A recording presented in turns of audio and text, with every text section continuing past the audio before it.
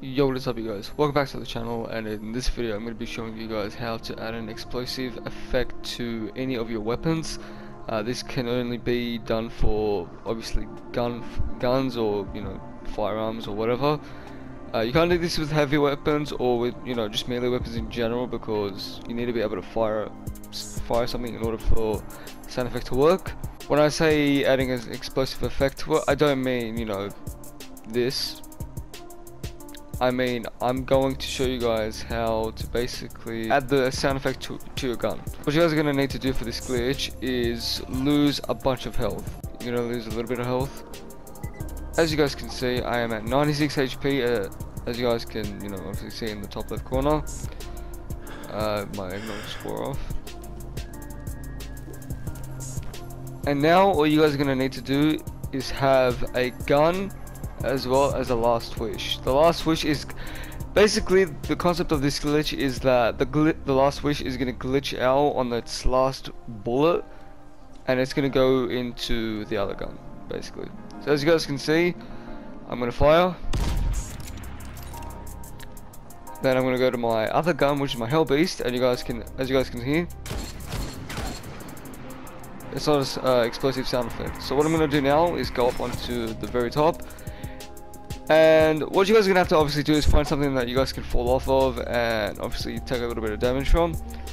But once you guys are up here, you guys are gonna wanna walk just casually walk off, you guys don't need to jump it. You guys can walk off and as soon as you're about to hit the ground, fire your last wish and then go to your other weapon. So it'll look like this.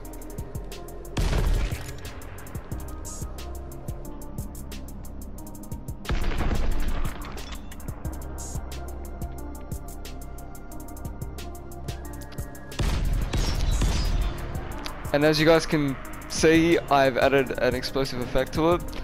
Uh, I forgot to mention this in the very beginning, uh, like I usually do with every single one of my videos.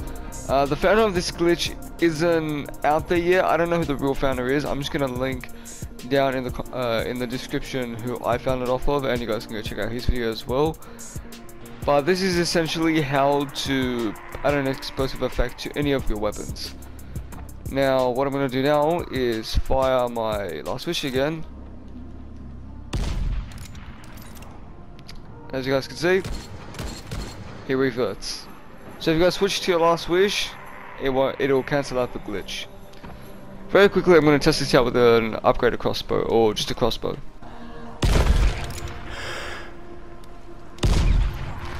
And as you guys can see, you can add the explosion effect to any of your guns or any of your crossbows. So yeah, uh, very quickly actually, you guys can use this with any modified gun. You can use it with like an infinite ammo kind of gun. Doesn't really matter. But the impact won't change. Just, just the sound effect, it'll change. But you guys can still hit the sound effect from behind it. And I'm once again going to switch my weapon to a bow and arrow and see if it inflicts the same kind of thing.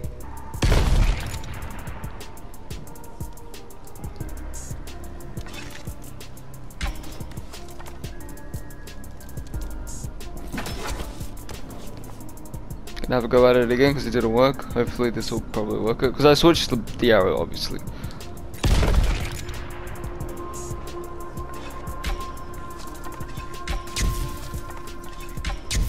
Okay, so confirmed you guys can't use a bow for this. You can use any guns, or you can use, you know, any crossbow of any kind.